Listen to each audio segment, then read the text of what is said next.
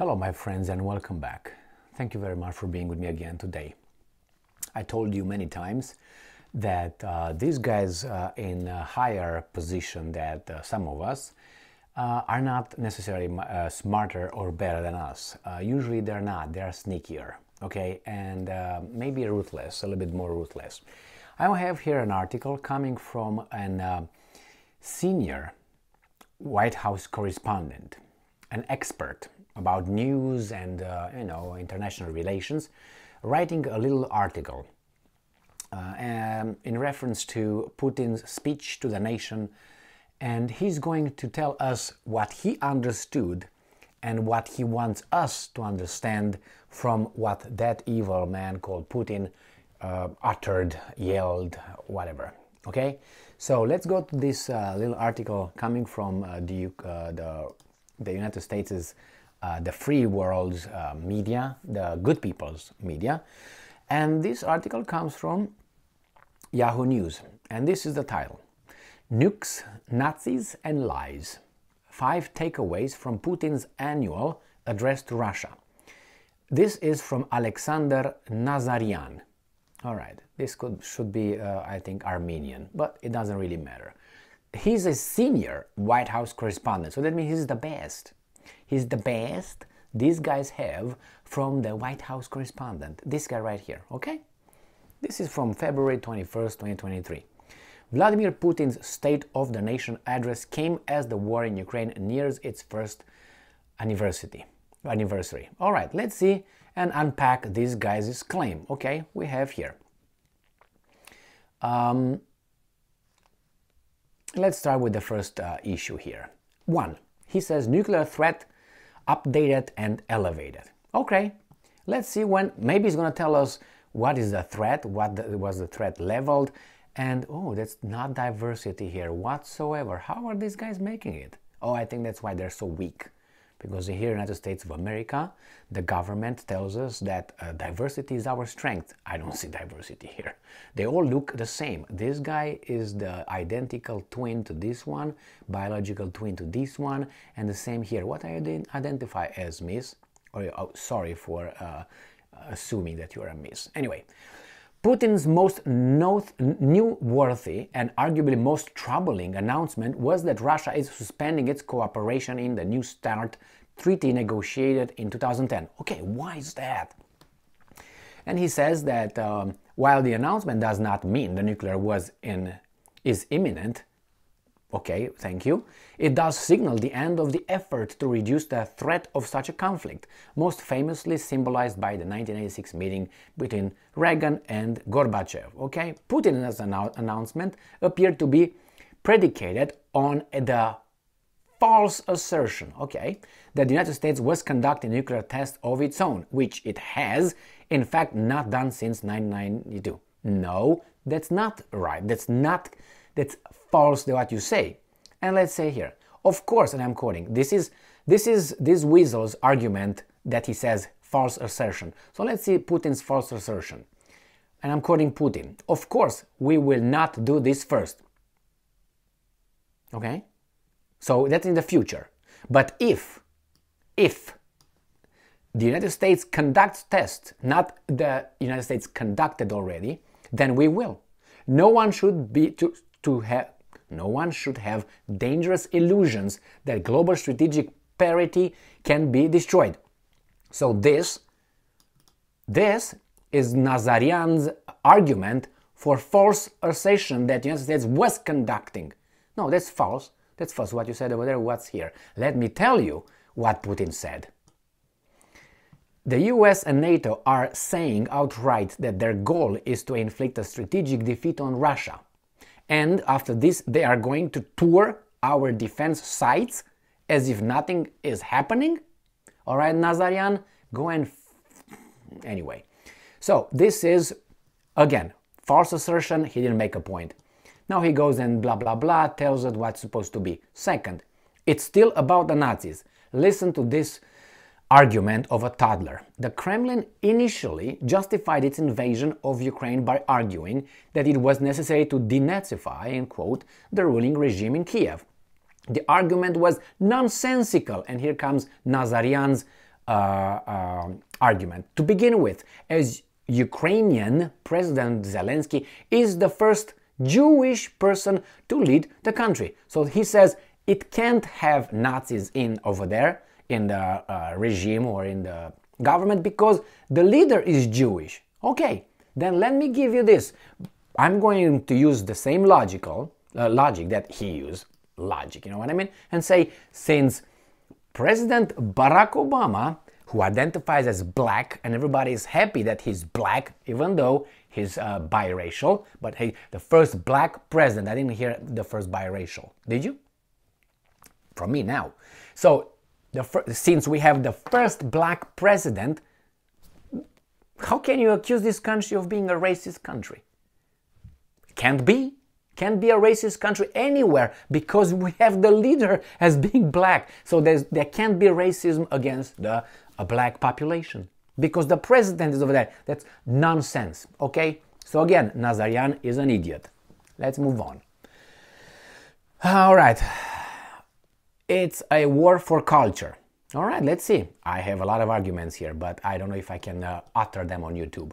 Putin has long been a favorite of nationalists in both Europe and the United States. Okay, who have regarded his authoritarian, militaristic, and superficially Christian regime as a model to emulate. First, uh, Mr. Nazaryan, uh, you know how what's the name of Russia, as you call it? It's called the Russian Federation. Russia consider or the Russian Federation, I just got carried away, carried away with this guy's idiocracy. He, it considered itself a multicultural and multi-ethnic state. So the thing with nationalism doesn't really work for him. All right, that's the, the first one. Authoritarian, uh, based on what? What is he doing? I would like evidence. Militaristic. How many military bases does uh, the Russian Federation have outside of its territory? Uh, hello, I made a video on that. Actually, they have like two one in Kazakhstan and one in Syria. How many does the non militaristic country of the good, United States? 750 or something uh, locations where they have military uh, equipment. So, who's the more militaristic? militaristic? And then superficially Christian regime. And he never said it's a Christian regime. What are you talking about? As a model to emulate. Remember, he's talking about war of culture. Well, Mr. Uh, Nazaryan, it says here, Putin has u- even used the language of cancel culture to make his case in appear- apparent and not entirely unsuccessful appeal to Western conservatives. So now they lump the Western conservatives, there are not too many in the United States of America anyway, to Putin being an evil guy. And he tells us here that uh, they talk, uh, Putin criticized a new Church of England proposal to refer to God by gender, gender neutral pronouns. Okay? And this, this is what Putin said. They distort historical facts, constantly attack our culture, the Russian Orthodox Church, and other traditional religious religions of our country. Religions. Okay? Look at what they did to their own peoples the destruction of the family, cultural and national identity, perversion, and the abuse of children are declared the norm, he warned. Okay, let's see.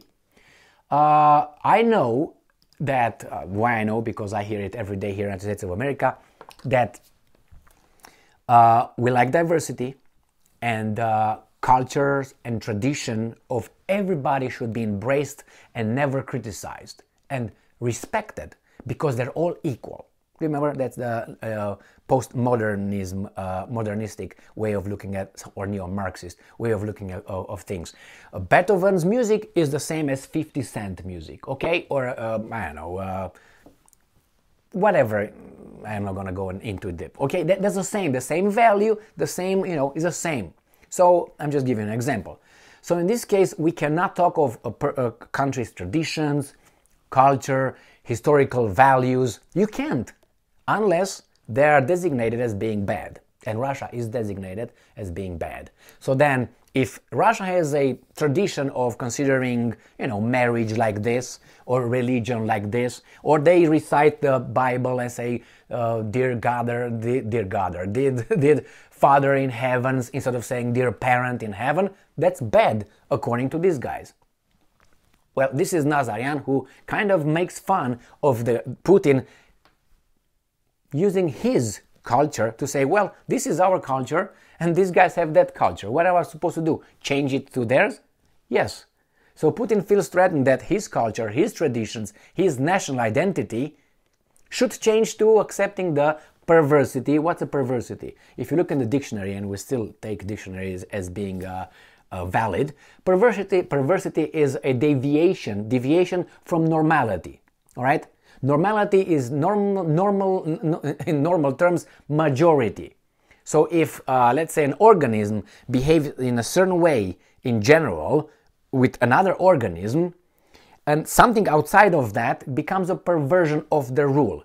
There have always been special cases where you have deviant behavior or deviant cases. You will always have that. Okay? I, don't want to say always, but you will have that. It doesn't mean that the general rule is still not valid. On the contrary, it uh, reinforces the, the, the main rule, the general rule. So, in this case, he calls perversion all kind of things that occur now in other cultures, which is yeah, you, not uh, culture relativism. He's saying no, no, no. They have their little thing. We call it perversion because it's outside of normality. I mean, we know exactly what I'm talking about. And here he said, we have this one, and they want to destroy that. If we don't uh, agree to their culture, then we're gonna be, you know, uh, some considered bad. Let's move on here to the next uh, bullshit of Nazaryan.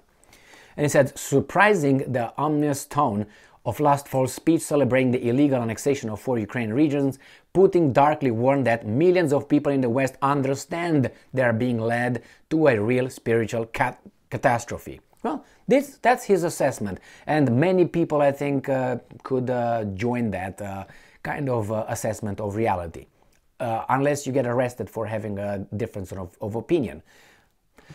Not yet. Russia is the victim. All right. Since the fall of the Soviet Union, Russia has invaded Chechnya twice, Georgia and Ukraine. First in 2014. Okay, how many countries countries did the United States, the forces of good, invade and wrecked?